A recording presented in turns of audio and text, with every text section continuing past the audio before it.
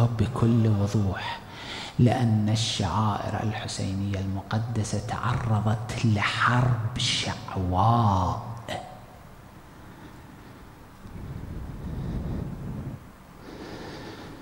لو كان الوضع وضعا طبيعيا وشخص لا يصر مؤمن لا يصر على الشعائر الحسينية من حقه وضع طبيعي عادي.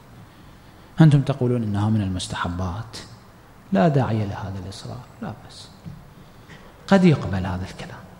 ولكن عندما تمارس حرب شعواء بكل السبل ضد العديد من الشعائر الحسينية المقدسة ألا يجب لا أتكلم عن وجوب شرعي وإن كان لذلك أيضا وجه كلامي ليس عن ذلك ألا يجب على المؤمن أن يتصدى لهذه الشعائر المبارك أن يقف أمام هذه الحرب الشعواء. حرب حرب. وترتكب في هذه الحرب أبشع الجرائم أسوأ القبائح. المؤمن يتهم المؤمن يضرب المؤمن يسجن المؤمن يعذب. يدخلون على بيوت المؤمنين وهم عند نسائهم. نساء كاشفات الرأس في دورهن. يدخل عليه عليهم. شخص. لماذا؟ لأن هذا الرجل رجل اشترك في شعيرة التطبير مثلا. هكذا جرائم ترتكب. حرب حرب يعني. علماء يتهمون. فقهاء يسفهون. فقهاء مقدسون في قمة درجات الفقاهة يرمون بالخرافة خرافيون يصبحون. هذه خرافات. مؤمن يتبع مرجعا مقدسا يتبع مراجع مقدسين أفتوا باستحباب هذه الشعائر. المؤمن واجبه اتباع هؤلاء الفقهاء. واجبه أصلا. هو يؤدي واجبه. هذا الفعل يرمى بالخرافة. أصلا المؤمن عنده طريق آخر غير اتباع الفقهاء المقدسين الجامعين للشرائع. وقد أفتى فقهاء وفقهاء وفقهاء جامعون للشرائط باستحباب هذه الأعمال. خذ إليك من الشيخ الأنصاري وقبل الشيخ الأنصاري إلى يومنا هذا. أفتوا باستحبابها الشيخ الأنصاري فقيه جامع للشرائط المجدد الشيرازي فقيه جامع للشرائط. الميرزا محمد تقي فقيه جامع للشرائط. سيد محمد كاظم اليزدي فقيه جامع للشرائط. الميرزا النائني فقيه جامع للشرائط. المحقق العراقي فقيه جامع للشرائط. أمثال هؤلاء الفقهاء أفتوا. إلى يومنا هذا إلى فقهائنا في هذا الزمن. كم من الفقهاء أفتوا باستحباب هذه الشعائر المقدسة بتفاصيلها بمفرداتها هذا المؤمن يعمل حسب فتوى هؤلاء الفقهاء. أنت سفيه أنت خرافي. تعمل أعمال خرافية. أنت مبتدع تعمل أعمال بدعة. يعني انتهاك حرمات. حرب حرب شعواء على كل السبل. هذه الحرب لا تحتاج إلى مجابهة. أنا أعتقد وقلت هذه الكلمة قبل لعله سنتين أو ثلاث سنوات أنه لولا قيام بعض المؤمنين بعض العلماء بالدفاع عن هذه الشعائر المقدسة لنزل العذاب وذكرت وجه ذلك. حرمات الدين تنتهك ولا أحد يقف هذا خطير جدا. هذه حدود الدين. مؤمن له حرمة المؤمن حرمته تنتهك ولا أحد يقف لا أحد يتكلم خطير هذا. الذي يتكلم الذي يصر يؤدي واجبه. الفقيه الذي يقف للشعائر الحسينية يؤدي واجبه في هذا الزمن. هناك حرب. المؤمن من حق أحد أن يضربه ضربة خفيفة على يده. لا حرام. هذا خارج حدود جعلها الله سبحانه وتعالى. المؤمن يؤذى المؤمن يتهم. هذه ليست من المحرمات. فكيف إذا سجن؟ أنت من حقك أن تسجن مؤمنا دقيقة واحدة أبدا. مؤمنون يسجنون يعذبون هذا المؤمن. الموالي حبا لسيد الشهداء جرح رأسه يصبون الملح على جرح رأسه. هكذا حروب لا تحتاج إلى وقفة. لا تحتاج إلى إصرار على الشعائر الحسينية المقدسة. لا تحتاج إلى أن يصرف الإنسان ساعات وساعات في, في الوقوف أمام هذه الحرب. قطعا يحتاج. ناهيك عن الأمور الأخرى التي ترتكب.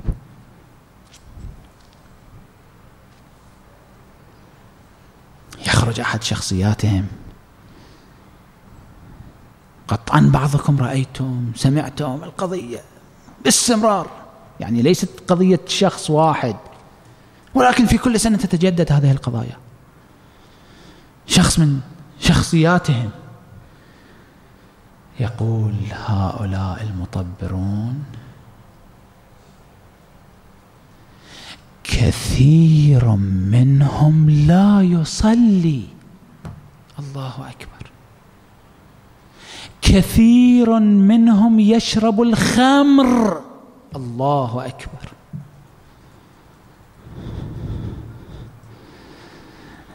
الآخر يقول كثير منهم لا يعبد الله بالنص قال هذه الكلمة. أنا سمعت. الله أكبر.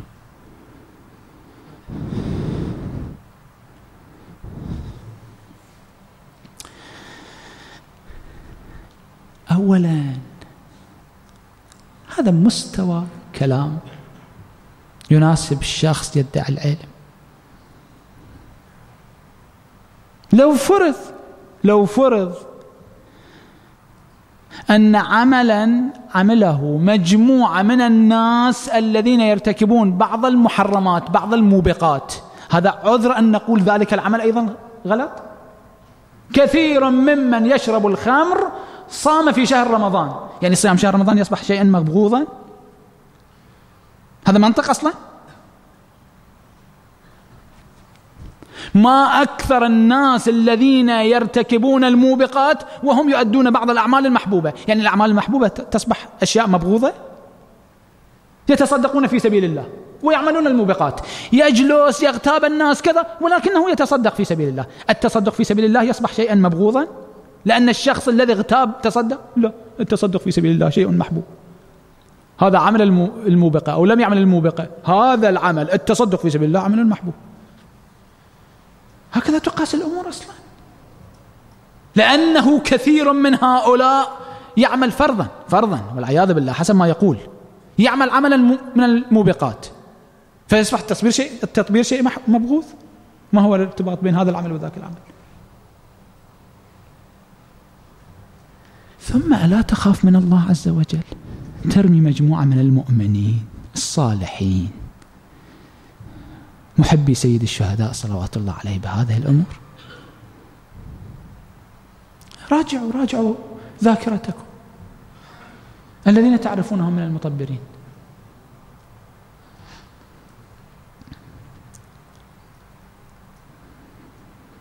أنا جالس في المسجد مكان مقدس. وفي يوم مقدس يوم الجمعة. وعلى هذا المنبر المقدس المنبر الذي يذكر اسم الإمام الحسين اسماء أهل البيت كلمات أهل البيت عليهم الصلاة والسلام. وفي ساعة مقدسة بين الصلاتين. والقسم بالله عز وجل له مكان له احترام. في هذا المكان في هذا اليوم في هذه الساعة. قسما بالله تعالى. والله وبالله وتالله. لا أتذكر من المئات من المطبرين الذين أعرفهم أنا. أنا أعرف مئات من المطبرين معرفة شخصية. والله وبالله. لا أتذكر واحدا منهم لا يصلي. لا أتذكر واحدا منهم. من المئات. بالله لا أتذكر واحدا منهم يشرب الخمر. والله وبالله. وتعرفون أنا لا أقسم بالله عز وجل. القسم بالله أساسا شيء غير محبوب إلا في الأمور المهمة. يشربون الخمر. لا يصلون لا تخافون من الله.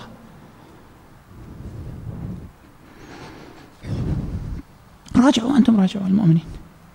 راجعوا أذانكم. كم من المؤمنين تعرفونهم يشتركون في هذه الشعيرة المقدسة؟ من منهم يشرب الخمر؟ من هم من هم من منهم لا يصلي؟ وناس متدينون. الآخر يقول لا يعبدون الله. الله أكبر.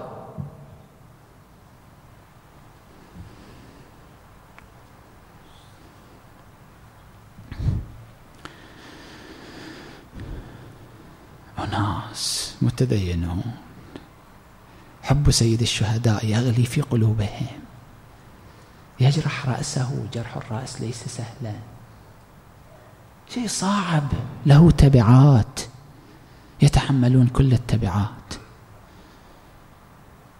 لماذا يتحمل هذه التبعات؟ حبا لسيد الشهداء.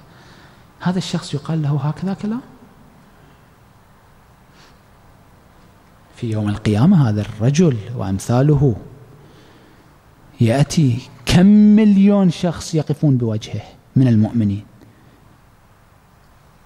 كم مليون مؤمن يقفون بوجه إلهنا هذا؟ اتهمنا بأننا لا نصلي بأننا نشرب الخمر العياذ بالله. يتحمل في يوم القيامة؟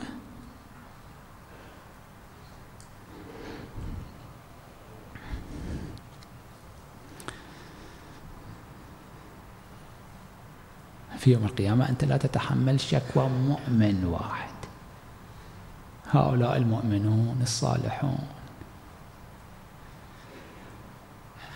بعضهم عدول تتمكن بكل ارتياح أن تصلي خلفه تقتدي به. بعضهم فقهاء مجتهدون جامعون للشرائط.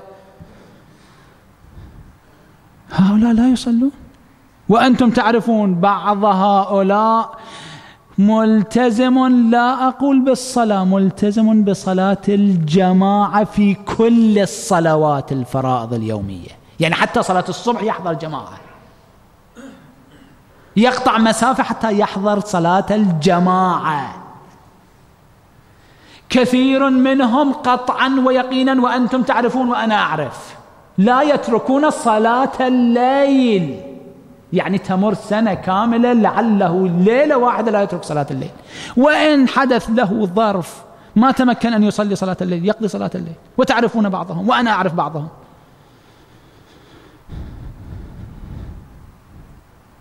هؤلاء لا يشربون الشيء المشتبه. فكيف والعياذ بالله؟ بالحرام. ترميهم هكذا بكل سهولة. هؤلاء يأتون يوم القيامة يشتكون عليك تتحمل. ناهيك عن أنه إذا أراد سيد الشهداء أن يقف بوجهك. العياذ بالله. هؤلاء قدام سيد الشهداء بالنتيجة. هؤلاء محب سيد الشهداء. لا أعلم سيد الشهداء ماذا يصنع يوم القيامة. إذا أراد أن يقف بوجهك فويل لمن شفعاؤه خصماؤه. هكذا حرب شعواء تحتاج إلى وقفة أم لا؟ تحتاج إلى أسرار أم لا؟ في زمن الشيخ الأنصاري رضوان الله تعالى عليه في زمن المجدد الشيرازي في زمن الميرزا محمد التقي في زمن الآخوند الخراساني في زمن السيد محمد كاظم اليزدي. ما كان هذا الإصرار على الشعائر الحسينية؟ نعم لأنها ما كانت حرب. القضية جدا طبيعية. الشيخ الأنصاري كتب كلمة واحدة فقط. نعم مستحب مؤكد خلص مشى القضية جدا واضحة. شخص يعمل عملا حبا لسيد الشهداء هذا يحتاج أصلا إلى فتوى عند الشيعة؟ جدا واضحة القضية. المجدد الشيرازي كتب كلمة خلاص. الأخوند الخراساني كاتب كلمة فقط. القضية جدا كانت واضحة. ما كانت هناك حرب. هذا الإصرار سببه هذا الحرب؟ في إيران منع التطبير منعت بعض الشعائر الحسينية. بالطبع شيخ عبد الكريم الحائري المؤسس للحوزة العلمية اضطر أن يقف وقفة. صارت حرب. خرجت من الوضع الطبيعي. الحكومة تدخلت. توابع ذلك في العراق. أستاذ الفقهاء أستاذ فقهاء النجف في زمنه الميرزا النائني اضطر أن يصدر فتوى مفصلة. القضية كانت طبيعية. الحرب عندما تثار الفقيه يرى من واجبه أن يقف. حرب على ماذا؟ على شيء من بديهيات الدين. الشعائر الحسينية من بديهيات الدين. أنا لا أقول من بديهيات الدين. فقهاء كبار يعترف بفقاهتهم كل الشيعة من الماضين حتى من الحاضرين. يقولون القضية أصلا بديهية واضحة لا تحتاج فتوى أصلا. أنت تحتاج أن تستفتي فقيها أن صلاة أن صلاة الصبح واجبة مثلا؟ لا القضية واضحة بديهية. نعم صلاة الصبح واجبة. إذا سألت الفقيه يقول لك صلاة الصبح واجبة. ولكن القضية بديهية واضحة. الشعائر الحسينية شخص يعمل عملا مواساة مع سيد الشهداء مع أصحاب الإمام الحسين. شيء بديهي. أصلا لا يحتاج إلى استفتاء. فقهاء قالوا هذه الكلمات. لا أقوله أنا. قال القضية ما ذكره الميرزا النائني بدرجة من الوضوح لا تحتاج إلى استفتاء. هذا كلام بعض الفقهاء. صارت حرب. الإصرار على الشعائر الحسينية سببه هذه الحرب. هكذا كلمات تحتاج إلى مواجهة لو لا قطعا. هذا الذي يرمي ملايين من المطبرين. كم مليون في هذه السنة اشتركوا في هذه الشعيرة؟ قطعا ملايين. إن لم يكن عشرات الملايين قطعا ملايين اشتركوا في بلاد العالم كلها. هكذا يرمى هذا العدد الكبير من المؤمنين الصالحين. بهكذا تهم طبعا هذا الذي يرمي هؤلاء من السهل أن يرمي فقهاء أيضا. يقولون هذا الفقيه الذي يدافع عن الشعائر الحسينية هذا عميل سهل بعد الذي يرمي ملايين من المؤمنين بال بالتهم. هكذا تهم كبيرة يشربون الخمر العياذ بالله لا يصلون. لا يعبدون الله. هذا من السهل أن يرمي فقهاء سهل. كما يحدث على مر التاريخ. نعم إصرار على الشعائر الحسينية. وهو دون المستوى المطلوب. تقصير في الإصرار على الشعائر الحسينية. عندنا تقصير كبير. وقفاتنا قليلة. لم تصل إلى الدرجة المطلوبة. أين الإصرار؟